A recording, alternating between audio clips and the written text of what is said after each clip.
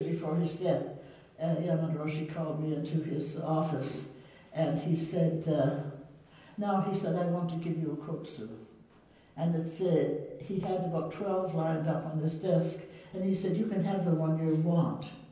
And so those people who have been studying with me, and many of you have said that you have, all the time I was teaching, I always carried the kotsu that the Roshi gave me. And this is it. And it was one he used every day. He has a special one for special days, which I now see that his son has, who is also a Roshi. But this was his everyday. It's kind of a rough, rough staff from a mountain, isn't what the, the koan says? And, but still, it means, it means a great deal when you've been taught by uh, a, a superlative teacher and always having this. And um, so I received it very gratefully. For those of you who studied Zen, the word mu is here, and many of you have met that, and then his name, Ko Un Kan, uh, Ken. Uh, and I, um, I feel now that, that it's, this has got to continue its work. I have stopped teaching, and uh, all the time I was uh, struggling, trying to learn the ancient Japanese terms that are, are used in Zen and the Sanskrit behind them and everything.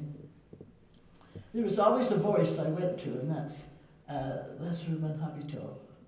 And it goes to this day. I pick up the phone and I said, Ben, what does this mean? He tells me, so whatever I'm writing, I can get that straight. And uh, I think in the years, at the end, end of this century, when we're looking at the people who taught Zen in, in uh, the 21st century, that uh, Ruben Habito will be at the top of the list. He is a, uh, an enormously talented person uh, intellectually. His Japanese was superb. superb. Yamada used to say, I don't know whether I'm speaking to a, Japanese or, or, or not. And his, his uh, command of so many of the, of the uh, languages, and the languages that are written in script, you know, not the ABC that we know. And he, he has all of this at his fingertips. And of course, most of us didn't. I had the, the great uh, hunger to know what these meant. And the person I, that was always available to me uh, was Ruben Habito. And so I think uh, uh, after the Roshi died, I went to his son and I said, you know, your father gave me this, this uh, kotsu. And uh, I said, I, I think probably you should have it. And he said, uh, he said, oh no, he gave it to you. And he said, that's his spirit is, is strong in there. He said, you keep that for your teaching days. And he said, the, uh, uh, he said, I have that black one that he used for all special occasions. So I feel that this, this uh, this kotsu has to go on and do its work.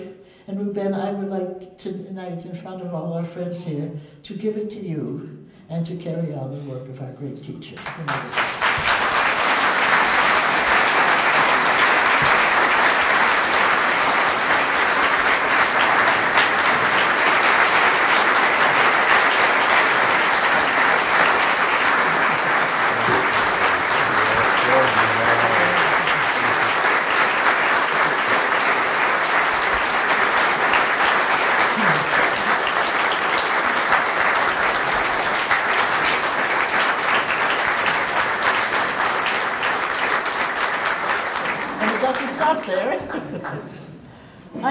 Kotsu here.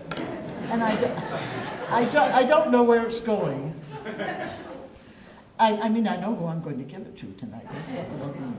As you all know, I was with the Buddhist nuns for about uh, seven or eight years. And uh, uh, the, teach, the, the teacher was very, uh, anyway, the teacher had never brought anyone through all these steps that you have to go through if you want to become a Zen teacher. So uh, uh, Father Lassalle, the person who had been directing me, said, oh, you've got to go to a better teacher now. You go to Yamada Roshi. And uh, so I did, and that's when my star took off and I was able to get, uh, uh, to get into koan study and everything.